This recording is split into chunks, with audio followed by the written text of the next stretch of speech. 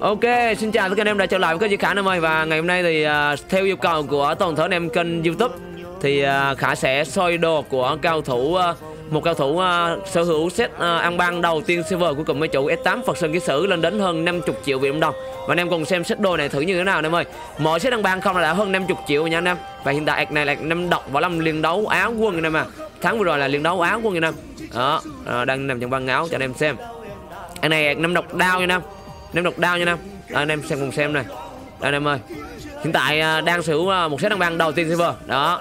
Ngọc bội cực phẩm hoàng mỹ đăng bang kháng cảnh năm kháng độc 30 ngọc bội này thì uh, mua với giá là hơn 15 triệu việt đồng nha nam. Hơn 15 triệu việt đồng với ngọc bội cực phẩm này nha nam. Và tiếp theo đến đó là một gia truyền an bang. Ở cái mốc gia tạo 4k vừa rồi thì ở server có một cao thủ mở ra cái gia truyền này và đã bán cho anh này với giá là hơn uh, có vẻ như nhớ không lầm. là gần 30 triệu hay hơn 30 triệu đó. Hơn 30 triệu cộng dây chuyền đây mà. Đó, gần 30 triệu hay hơn gì đó. Nói chung là tương đương khả không nhớ là mà hơn 25 30 đó. Anh có nói, anh có bảo khả như vậy.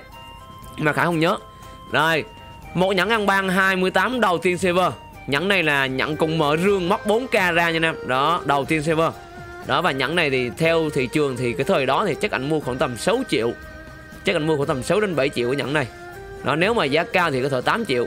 Đó rồi nhà khăn banh. Nhắn banh 25 này thì uh, cái đợt uh, vừa rồi anh em cũng đã biết thì nó rao bán với giá là 4 triệu cách đây cũng hơn một tháng trước. Rao cái nhẫn này với giá 4 triệu mà không biết ảnh mua bao nhiêu nha anh em. Đó. Rồi xếp đăng bang này thì uh, cho vị trí còn gia truyền khoảng 25 đi. Uh, ngọc bội khoảng 15 là 40 với cặp nhẫn này nữa là đó anh em thấy chưa? Tương đối là một xếp đăng bang không đã 50 triệu việt đồng đồng nha anh em. Đó chưa tính những món đồ khác nha.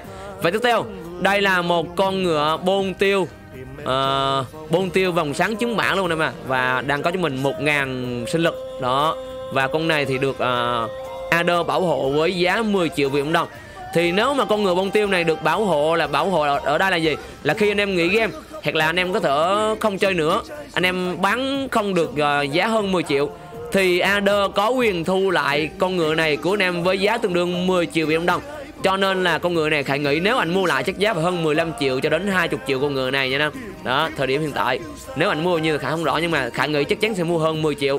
Tại vì là không ai dạy gì mình đi bán 10 triệu đồng giá ba đơn Có vẻ chắc chắn là em này sẽ bán hơn 10 triệu con này Và không biết anh mua bao nhiêu nha. Đó. Con người này thì uh, sau khi nghỉ game thì Ader sẽ thu lại với giá 10 triệu em đồng. Có ghi sẵn luôn cấp độ top 1 cấp độ 120 Và sẽ được bảo hộ 10 triệu em đồng. Đó. Rồi. Tiếp theo đó là một bao tây phòng thủ lý 25 Bao tay này thủ lý 25 520 Khá chắc cho anh em đọc luôn. Bao tay này cũng khẳng định với anh em bao tay này nổ một server Chưa có bao tay nào đẹp hơn ở server này. Tiếp theo một cái nón phòng thủ lý 25 40 Cái nón này thì uh, mua điểm liên đấu nha năm 140k điểm liên đấu được sở hữu cái nón này vĩnh viễn nha mọi người. Và nón này thì đỡ mà tính thì khoảng à, 140 kim. Thì nó khoảng tầm dao động khoảng hơn 10 triệu nè Khoảng tầm 10 triệu. Đó 10 triệu nón này. Đó.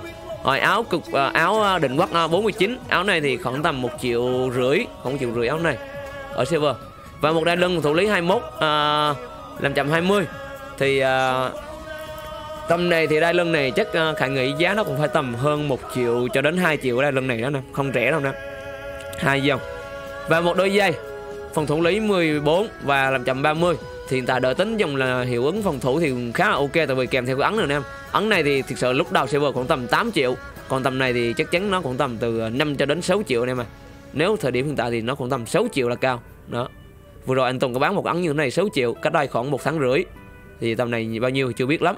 Chưa rõ nhưng tại vì nó sẽ tục theo thời gian chứ không bao giờ tăng được.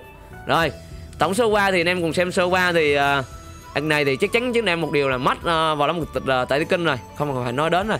Và hiện tại đang sở hữu một cái đao tốc 30 bằng sắt năm bằng sắt 60 hay 60 thì cái đao bằng sắt này nó sẽ đạt mốc 53 năm có thể nói là một cái đao nô của server rồi.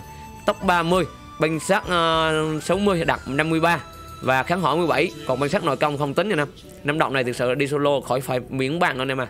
Đó, thì nón 10 triệu, bao tay này à, đỡ mà nói chắc phải nghĩ tầm nằm, giá phải tầm 5 triệu quay đâu. Đai lưng này khoảng 2 triệu đi, là 7 triệu 17 triệu rồi. Nón áo này không một triệu rưỡi là 18 triệu, đôi giày này không một triệu nữa là khoảng 20 triệu. Nậu cái dàn à, đồ bên trong là khoảng 20 triệu rồi nè.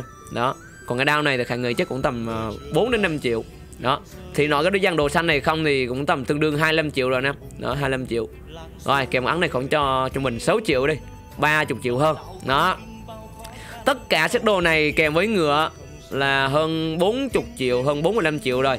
Kèm với set năm bang này thực sự là con năm độc này đang khẳng định với em với cái giá trị là gần 100 triệu Việt Nam đồng gần 100 triệu Việt Nam đồng cho bạc uh, à, năm độc no 1 của server. Đó anh em thấy chưa?